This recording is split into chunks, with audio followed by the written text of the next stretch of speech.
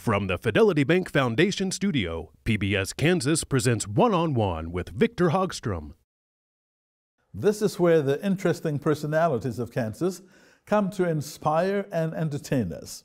My guest this week is a musician who plays an instrument that many of us are not familiar with. His name is Daniel Baird. His instrument, the handpan. The soothing, uplifting, almost surreal sound of handpan is a joy to the soul. We'll learn all about it and the man who mixed this beautiful music on this edition of One on One.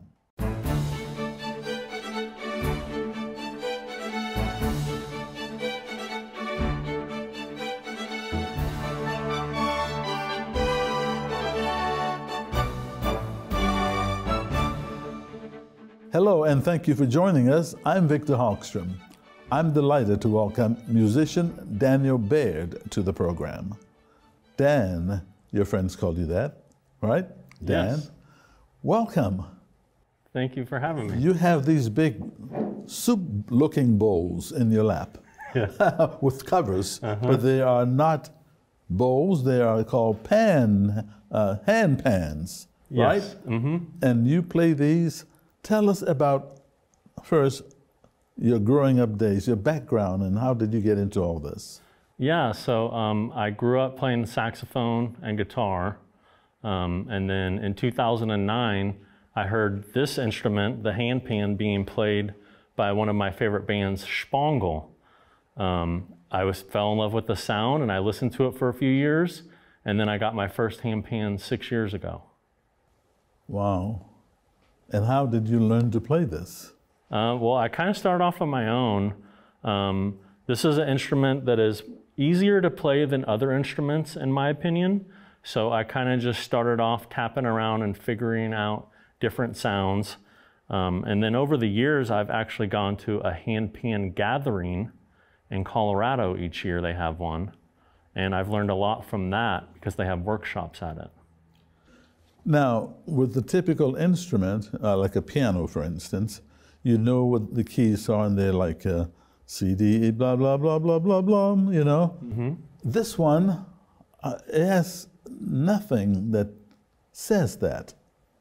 Um, how do you figure it out? Yes, uh, that's a great question. So the handpan is a little bit different than other instruments like the piano, in that the notes are not laid out uh, in a linear fashion.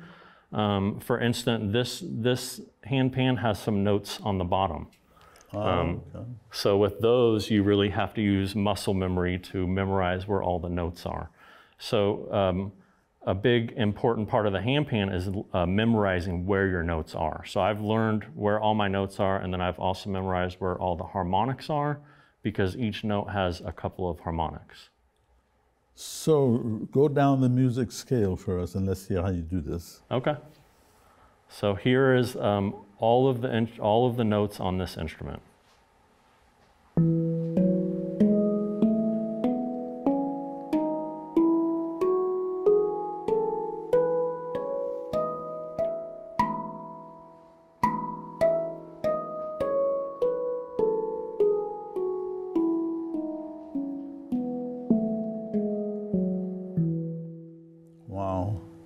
So you have two of these.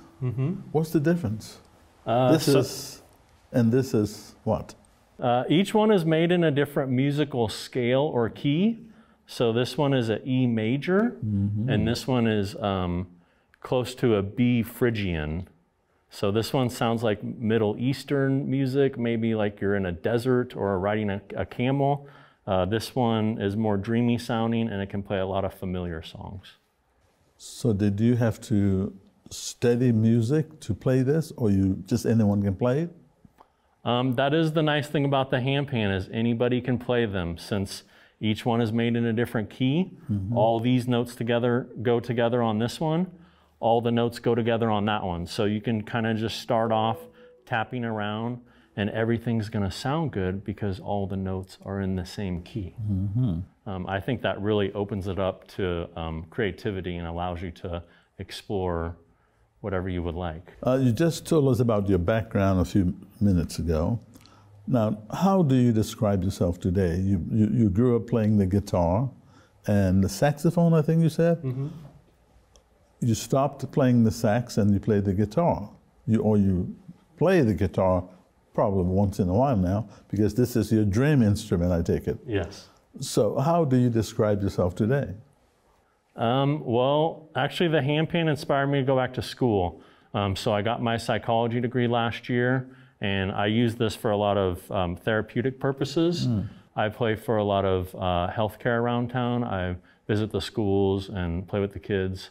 Um, I think this belongs in healthcare and education. So, that's where I, I like to use music now. Um, it's more therapeutic for me than it was when I was growing up. I was kind of jamming and playing with my friends. Mm-hmm. Um, now I, I, think there's more of a therapeutic value as I get older. So are you like a one man band when you go to play?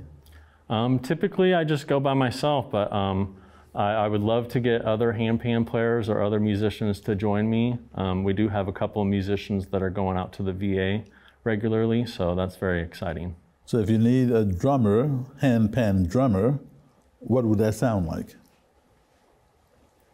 If you were playing and had a drummer.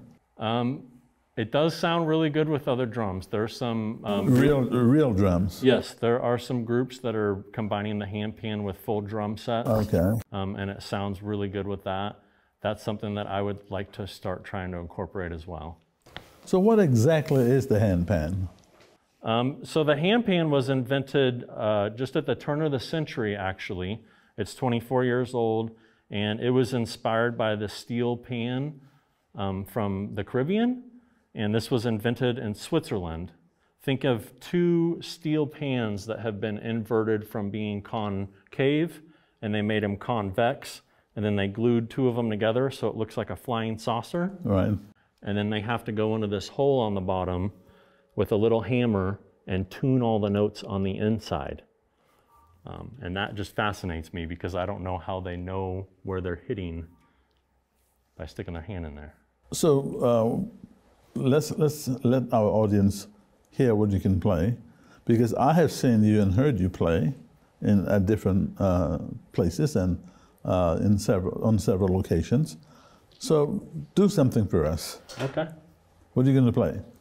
Um, I will play you uh, a song that has to do with the state of Kansas. Oh, okay.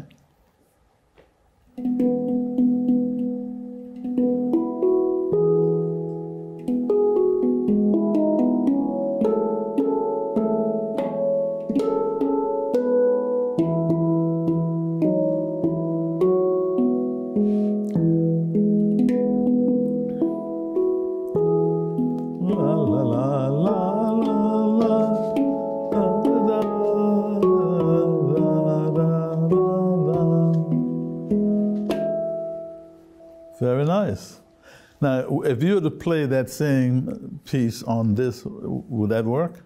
Um, unfortunately, it won't because the notes on this one are completely different than this one. And so even if I was to do the same pattern, it's not going to sound good.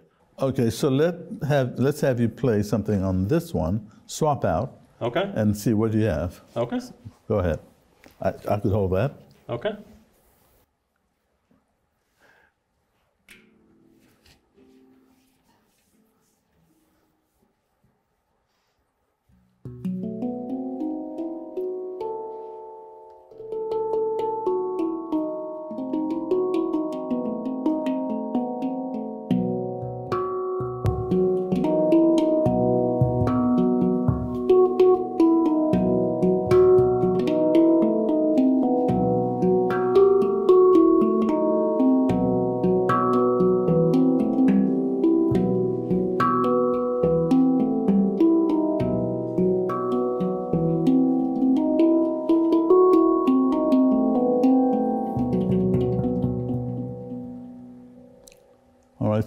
What was that piece? That was just something that I just kind of made up.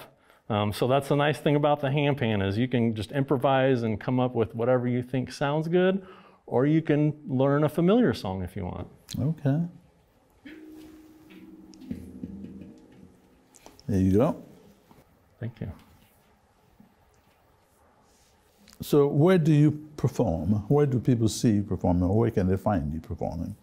Um, well, I, typically use these for um, healthcare or education. So every day um, I visit places around town. Today I visited a school this morning and I went to a hospital.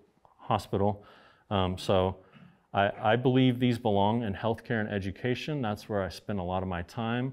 I also help out um, at some homeless events or um, some events for the unhoused community. Um, I, I, I do some live performances every so often, but I'm, I'm trying to get into more of that. Do you make a living playing these instruments? I do, yes. Um, every day I, I visit healthcare places um, and I visit schools, um, and then I also give lessons as well. Uh, what kind of reaction do you get from people when they hear the sounds and stop by to see you? Uh, what, what are the typical questions? Uh, usually people are fascinated. They first think that it sounds like a piano or a harp, and they are mesmerized that the sound comes out of this instrument because it's uh, rather small for the sound that it puts out. Um, and people think that it sounds maybe like water or waterfall. Um, they find it very soothing. Sometimes people go to sleep. Mm. Uh, so it is very relaxing. And the nice thing that I found is that pretty much everybody seems to like the handpan. Um, I know you might have a preference on country or rock music or the type of music that you like, but the handpan seems to touch everybody's soul in a different way. And you can play any kind of music on this? Uh, you could potentially learn any genre and then transfer it to the handpan. Wow. Can anyone play it? Yes, that, that is the nice thing. Any age, anybody with any musical experience, um, you can just start out with the handpan and feel like you're making music. But there are no notes to read. If you could uh, read notes, uh, music notes, how would you play? And, and, and there's nothing that indicates anything on this. Yeah, so um, when you first buy a handpan, the maker will tell you what the notes are, so you'll know oh. what the oh. notes of the scale is. And then um, some people like to put stickers, or you can just write with a Sharpie on your instrument what the notes are, mm-hmm. um, and that can help you to remember. So you think anybody can play? I think so. Well, can I play? Yeah. Let's, Let's try it. it I want to try it. What do I do? Um, so do you want to do it sitting up or standing down? Or? Uh, probably standing because I may fall off my lap. Yeah. We don't want that, do we? No. All right, everybody get ready to rock and roll. Victor's on the handpan. Okay, so uh, I saw you just tipping these things.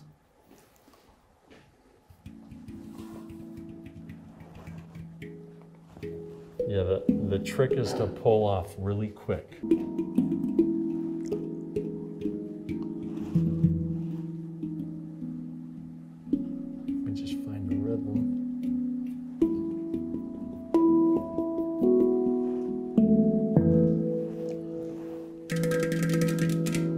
That one? well, let's try this one. Okay. Let's swap. Okay.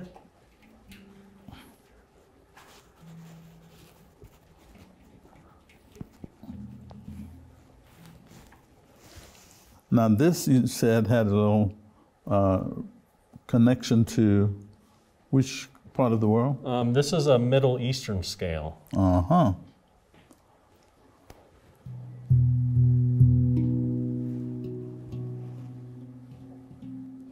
You tap in the circle or just uh, along the side? You can tap either in the circle or on the flat part.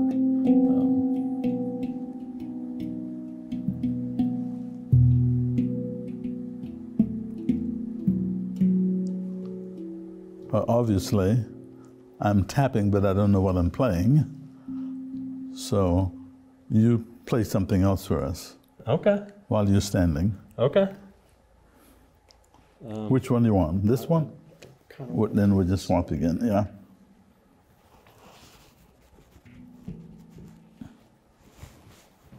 You put it right here.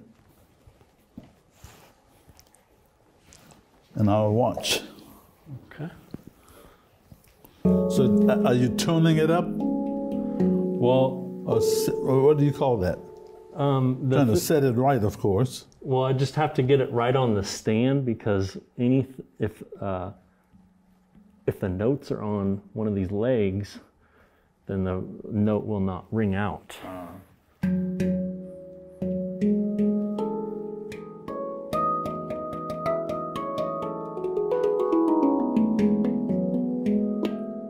Well, since the holidays are just around the corner, play something Yeah. Holiday for us. All right.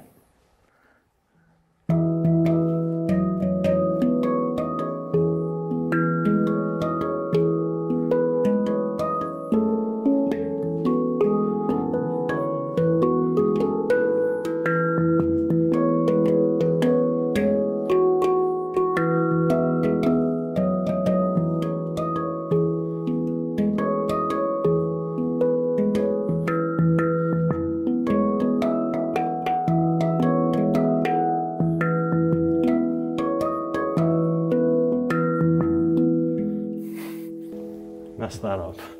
How? I didn't tell. Okay.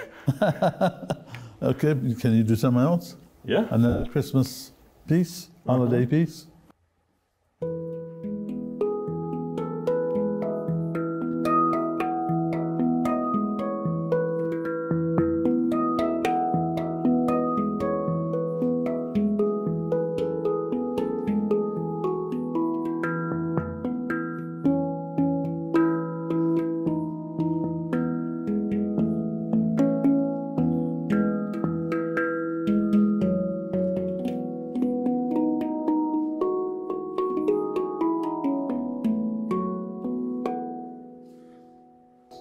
Okay.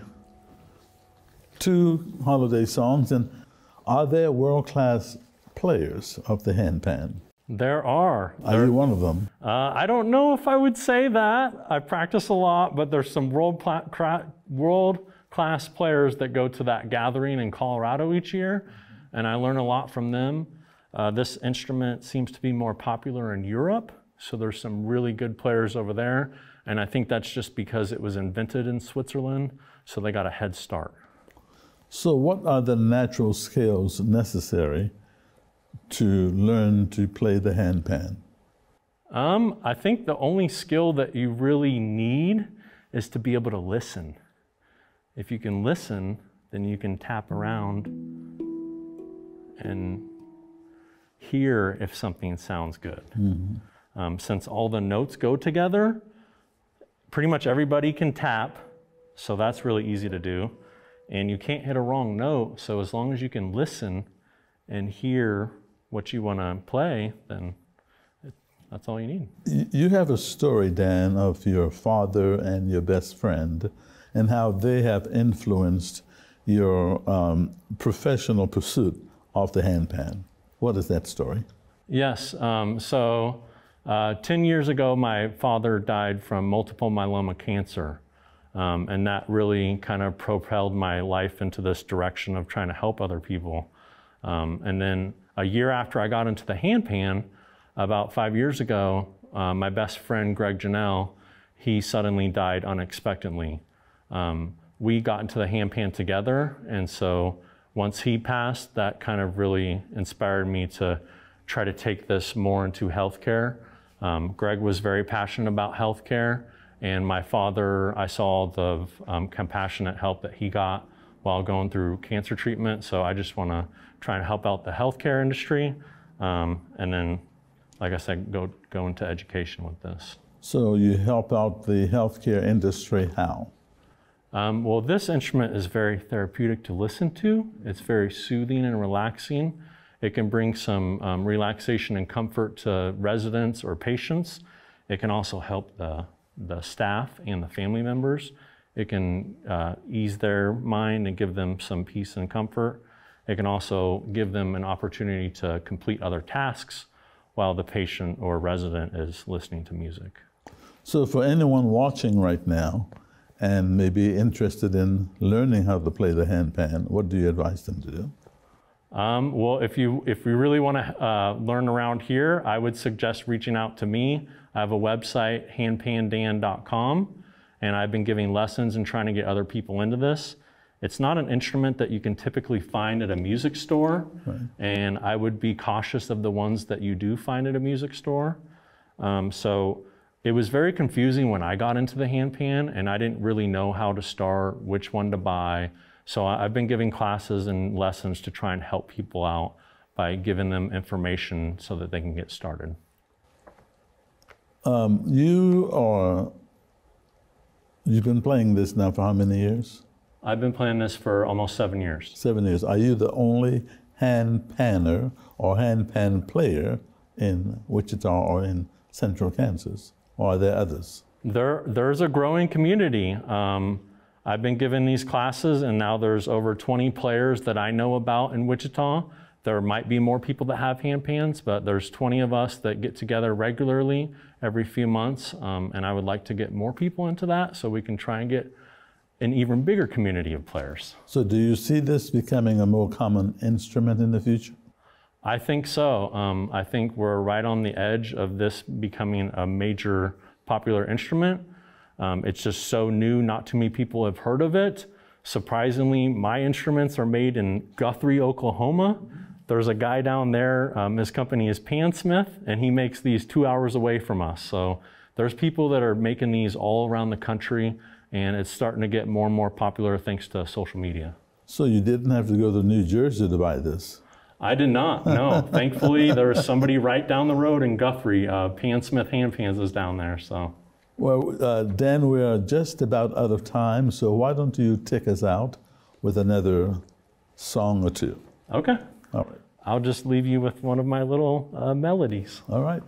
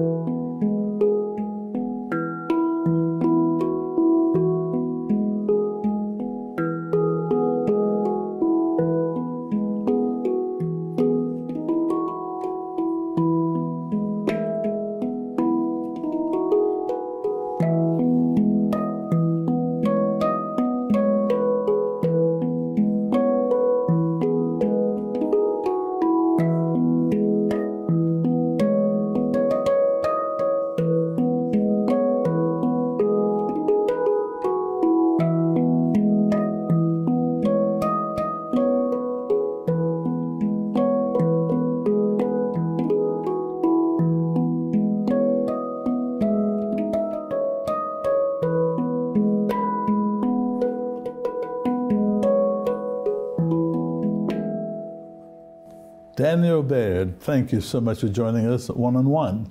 It's been a pleasure having you. Thank you for having me. And thank you for watching this edition of One on One. One on one at kpts.org is our email address. That's if you have a question or comment. Until next time, I'm Victor Hogstrom. Do take care.